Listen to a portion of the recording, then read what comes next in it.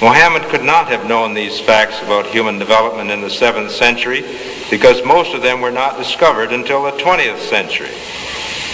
This is a leech, and this is the human embryo, about 23 days. I think you have to agree that the similarity between these uh, structures is amazing. The key word in both is al-Ghaib.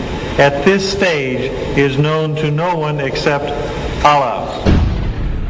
The rapid growth and dramatic changes which occur after the bones have been clothed by muscles have been mentioned in the Holy Quran 1400 years ago.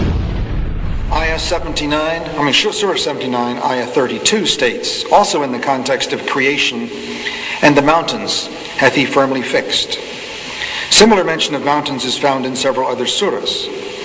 It is permissible to interpret this to imply that mountains are rooted and that modern, ge- and modern geophysics has established deep crustal roots for the axial parts of mountain systems at converging plate boundaries. We need research into the history of early Middle Eastern oral traditions to know whether, in fact, such historical events have been reported. If there is no such record, it strengthens the belief that God transmitted through Muhammad bits of his knowledge that we have only discovered for ourselves in recent times. 1,400 years ago, when the world was immersed in darkness, the Quran was revealed, which brought light to a beleaguered world. And whereas the earlier books came with many scientific mistakes due to the hand of man having delved into them, the Quran had none of these contradictions.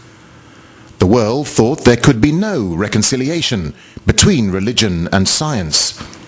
But the Quran mentioned many scientific facts in great detail, like how a human being developed in the mother's womb, and described other scientific facts which amaze the world's renowned scientists and scientific community. Such was the impact of these revelations that the first Islamic medical conference was held at the Arab League building, Cairo, Egypt, on the 26th of September 1985.